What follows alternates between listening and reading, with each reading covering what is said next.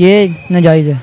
नाजायज़ काम है चाँद पे नहीं जाना चाहिए ना? नहीं नहीं। जिस तरह अ, चीन का इमरजेंस है रशिया का रिसर्जेंस है अरब ममालिक भी अब आप देखें रूस चीन अमेरिका उनके दरमियान अपने ताल्लुकात को बैलेंस कर रहे हैं। तो मैं इंडिया मार्स पे जाए या चाँद पे हमने जाना जन्नत में है। चाहे जितनी बड़ी तरक्की कर ले जाना जन्नत में हमने उन्होंने जाना दोजख में है। बात सच है। जब मेरे मालिक ने फरमा दिया मेरे महबूब ने तो कहा कोई हिंदू या कोई काफिर मुसलमान का दोस्त कभी नहीं बन सकता।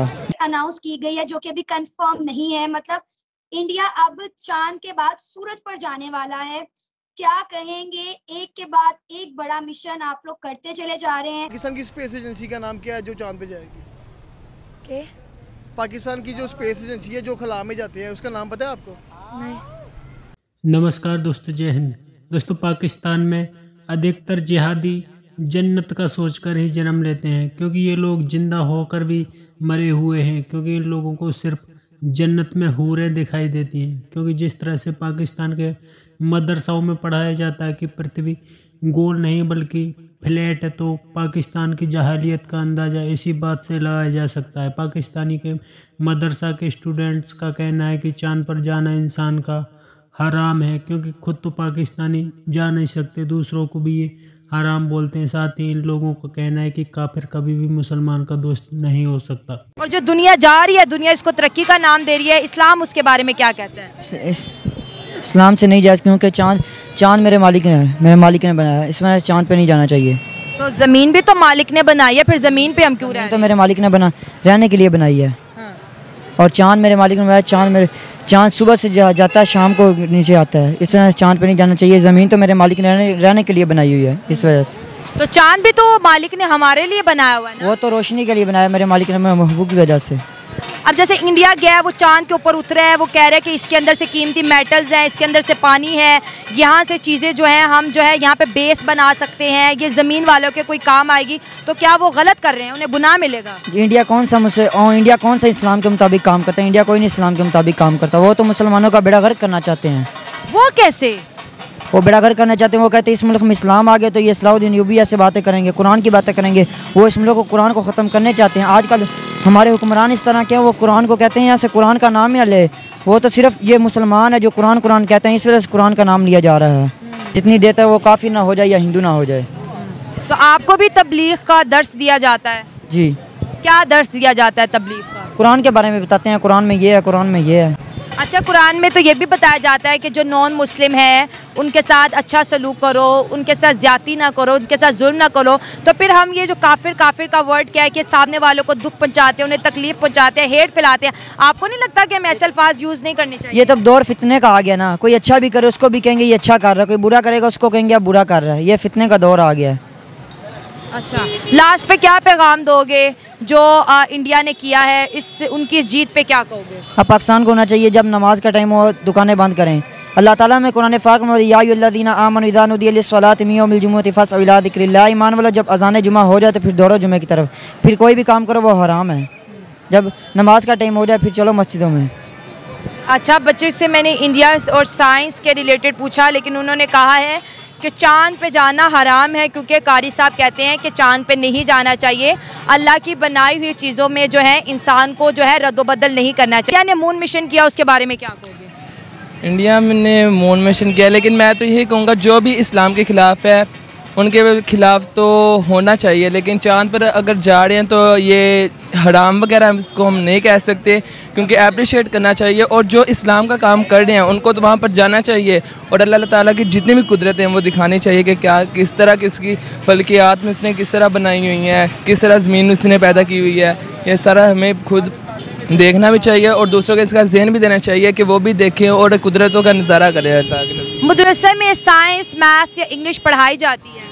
अल्हम्दुलिल्लाह दावत इस्लामी के अंदर जो है अब बी एस स्टार्ट हो चुका है। उसके अंदर बाकायदा दुनियावी तलीम भी दी जाती है ताकि बच्चे जो है दुनियावी एतबार से पीछे ना रहें और दीन के साथ साथ दुनियावी तलीम में भी आगे बढ़ते रहें। ये बताओ कि ज़मीन गोल है या फ्लैट है? ज़मीन आला हज़रत जो है मैं उनकी रोशनी में आपको बताता हूँ कि ज़मीन जो है ये सुकून है यानी ये रुकी हुई है ये घूमती नहीं है। इस तरह हम नहीं कह सकते कि वो घूम रही है गोल का तो कुछ नहीं। कह सकते सकता मैं। ये हाँ, इंडिया चाँद पे चला गया लोगों ने मार्स तक के मिशन कर लिया अनफॉर्चुनेटली मदरसा के बच्चों को ये पढ़ाया जाता है कि ज़मीन फ्लैट है। अगर ज़मीन फ्लैट है तो फिर ये मौसम कैसे बदलते हैं? ये दिन रात कैसे आते हैं बताओ? अगर ये घूम ही नहीं रही चाँद ग्रहण कैसे लगता है? सूरज ग्रहण कैसे करता हूँ।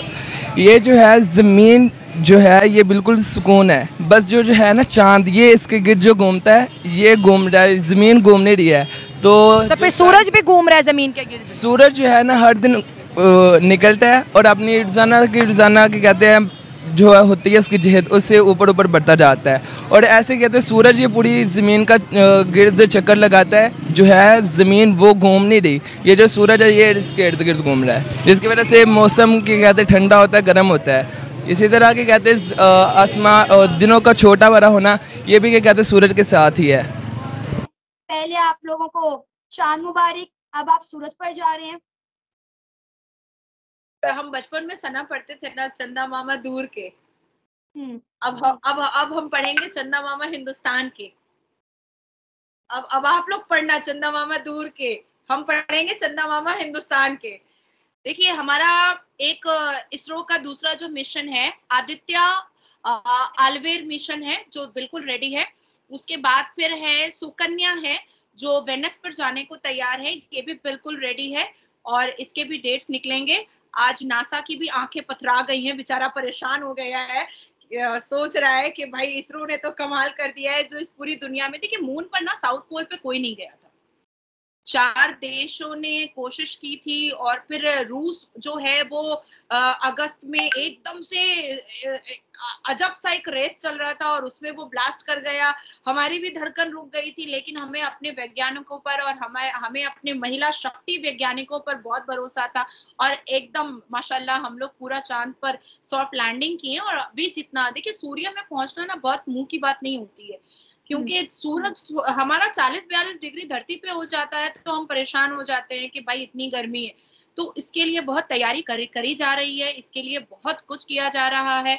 और मुझे ऐसा लगता है कि सुकन्या जो हमारा आ, मिशन है वेनस पे जाने का और आदित्य जो हमारा सूर्य पर जाने का मिशन है वो भी सक्सेसफुल होगा और हम वहाँ पर भी भारत का झंडा लहराएँगे। और पूरी दुनिया हमें तब भी बहुत अप्रिशिएट करेगी पूरी दुनिया हमारे हमारे भारत माता को जय कहेगी एक्सेप्ट पाकिस्तान, क्योंकि पाकिस्तान अभी भी क्रिटिसाइज में लगा हुआ है। बच्चे, बच्चों के दिमाग में कत्ल और गारत मचाया गया है, वही सिखाया गया है, पर हम, हमें कोई प्रॉब्लम नहीं है। हम अपने अचीवमेंट अपने सक्सेस से बहुत खुश रहते हैं। कंट्री हमारी नेबर कंट्री है, ठीक है, और, चाहे हमारे दोनों के बीच में एक डिस्प्यूट है, लेकिन अगर वो देखा जाए कि ज़्यादातर तक पॉलिटिशियंस के बीच में ही है। हम्म। जो उधर के सिविलियंस हैं वो इतना नहीं हमसे यानी कि नफरत करते। दुश्मन मानते हो इंडिया को? नहीं मैं नहीं मानता। आप क्या सोचते हो इंडिया के बारे में? भाई दुश्मन मुल्क है हमारा दुश्मन मुल्क है। कश्मीर पे इतना जुल्म करते हैं वो कश्मीर वाले लोगों पे। इंडिया बुरा लगता है। क्यों लगता है? अच्छा लगता। बुरा क्यों लगता है? वो हाँ बुरे। हाँ देखा कश्मीर में इतने बम नहीं चलते? अच्छा मुझे बताओ कैसे आपको पता लगा कि इंडिया दुश्मन मुल्क है? आपको किसी ने बताया है? अपने माँ बाप ने बताया स्कूल में बताया यार बुक्स में पढ़ा है हमने। स्कूलों में बताया इंडिया दुश्मन है। आपको पता है इंडिया चाँद पे चला गया? है? जाने तो कहाँ चला है चाँद पे? वाकई में चला गया। ओ जाने तो कहाँ चला उसको औकात नहीं है जाने की। इंडिया ने रिकॉर्ड बनाया है कि वो साउथ पोल पे गया है। वही दुनिया का मुल्क है। यार उसकी पैसे नहीं है। सुबह कैसे जाएगा चाँद पे? इतने साल लगते जाने में चाँद पे। वो हो गया चाँद पे। क्या कहोगे आप? क्या हमें भी जाना चाहिए चाँद पे? इंडिया को मुकाबला करना चाहिए? करना चाहिए क्यों नहीं करना चाहिए? हमारा वैसे चाँद तो हमारे तिरंगे में है। इंडिया वालों चाँद में जाने का कोई फ़ायदा नहीं है। यार उनको इतने पैसे मिलेंगे वहाँ पे चाँद पे जाने के? लोन लिया उन्होंने वर्ल्ड बैंक से। आपको कैसे पता वो कश्मीर पे जुल्म करते हैं? वो खबरों में नहीं देखते आप पढ़ते नहीं है। देखे ना आप इतना जुल्म करते हैं लोग कहते हैं कि इंडिया हमारा दुश्मन मुल्क है। भाई हम दुश्मन मारते हैं कोई अच्छा नहीं है अच्छा आपने रिसेंटली देखा होगा कि इंडिया के एक छोटे से बच्चे की वीडियो बड़ी वायरल गई है वो चंद्रयान जो चाँद पे गया है इंडिया उसकी बड़ी इन्फॉर्मेशन आपको पता चंद्रयान के बारे में? यार वो कौन सी बड़ी बात है चाँद पे जाना? मुझे ला दो मैं भी चल जूँगा कैसे जाओगे? मुझे सारा सामान ला दो मैं चल जूँगा मैं भी मैं भी चला जाएगा।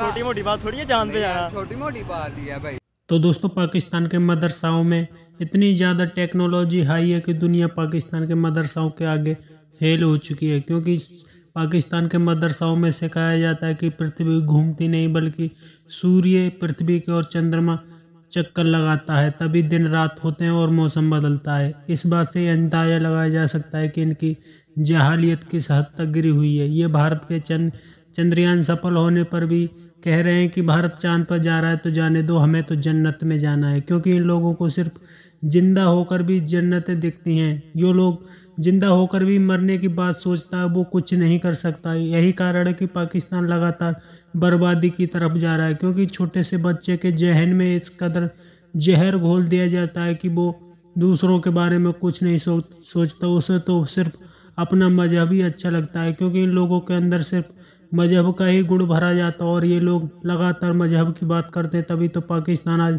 यहाँ तक पहुँचा है। आपकी कह रहा है कमेंट में ज़रूर शेयर करें। यदि आप चैनल पर नए चैनल को सब्सक्राइब करें। वीडियो पसंद आए तो लाइक करें, कमेंट करो और शेयर करें। जय हिंद, वंदे मातरम।